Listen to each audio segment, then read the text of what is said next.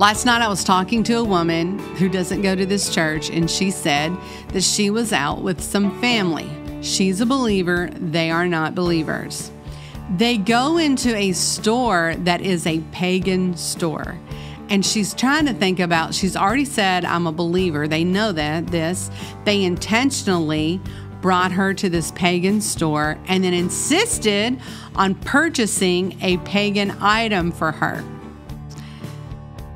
Because she wanted to show them love, she didn't think about setting up the boundary. So, what ends up happening is they told her, choose between this item or this item. And she's like, I don't want either one of those items.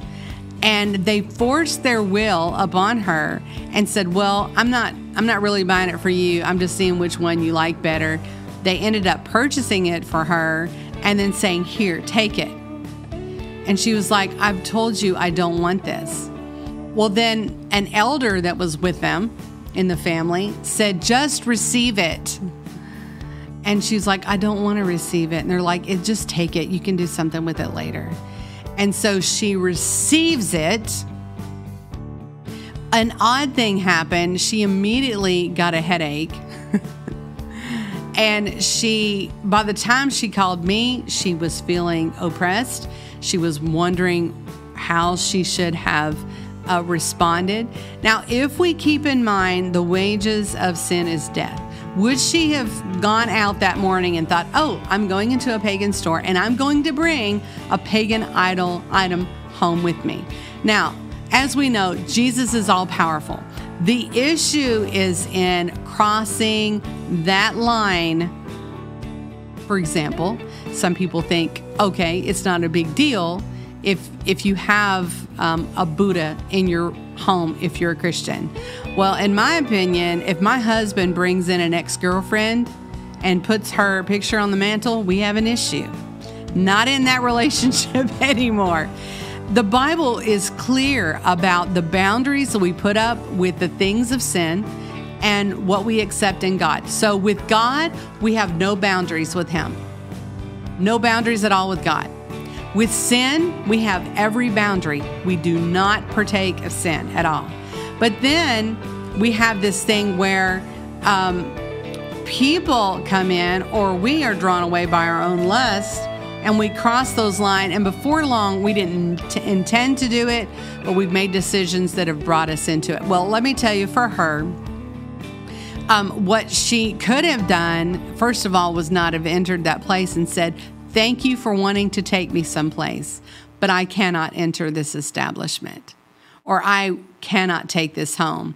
And the woman was right. She said, receive it. When she received it, she was taking this into her. So I said, my recommendation is with your mouth and with your actions, you received it. Put up that boundary and say, you know what? I do not receive this. And she said, Well, what if they ask me later on if I still have it? I don't want to hurt their feelings.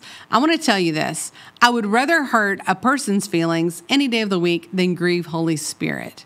So if he particularly is dealing with you about anything, obey him first. That's the first thing in boundaries. Obey Holy Spirit first and then deal with the rest later. Okay? So she had to say, God, I do not receive that. I repent for, repent means to turn around and go the other way. I repent for having this thing.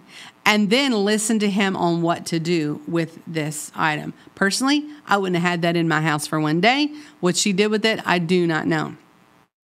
Now, with that that's with dealing with other people. This morning I get to the prayer room and I talk with someone who was standing in church and someone came up to them with a perverse conversation and it grieved her. Uh, what happens when people bring the, this ungodliness to us and we entertain it and we don't put our boundary up? What it does is it begins to cover us, it begins to infiltrate. And so she's like, I am so heavy with this and I'm so embarrassed at the content.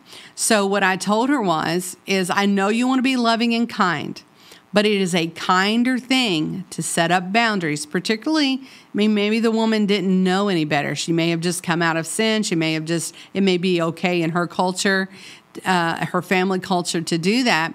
I said, what you can do is you can say, um, put your hand up and just say, you know, I just can't talk about that in here. Or I, I, told her, I said, you may even contact her today and said, you know, I want to tell you that I care about you.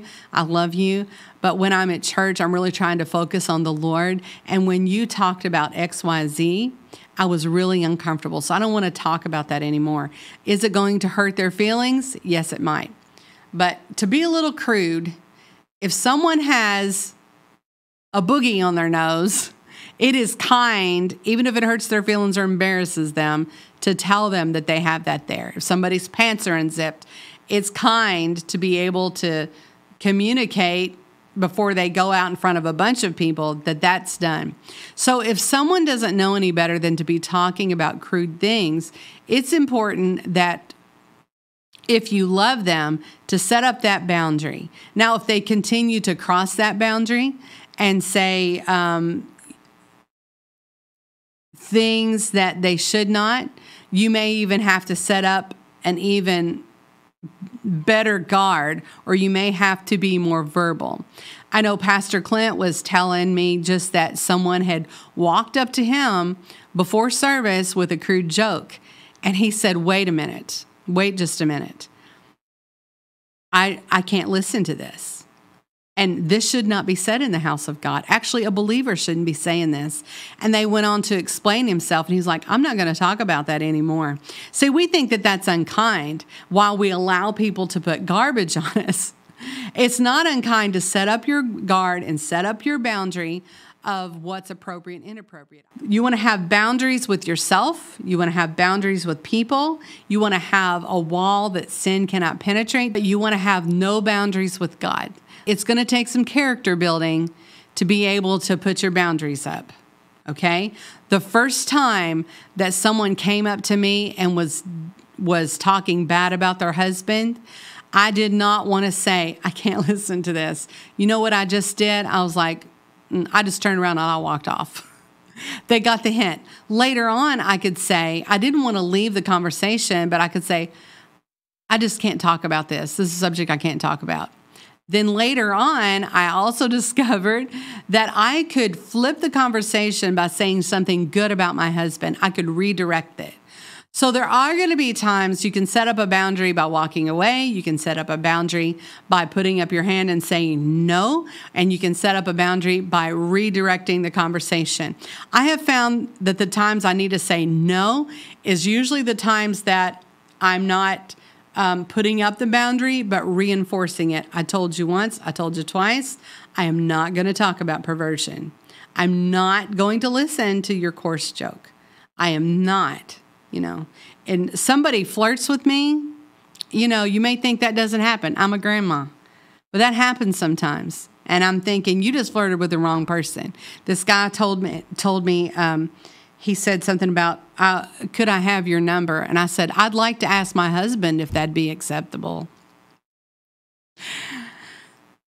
Was that rude? I, you know what? He was asking a married woman for her number in a perverse way if the stronger the um, the assault against my boundary, I'm probably going to come out that way. So anyway, don't y'all be flirting with me because I'll put you in your place. okay, okay. So let's talk about not having any boundaries with God.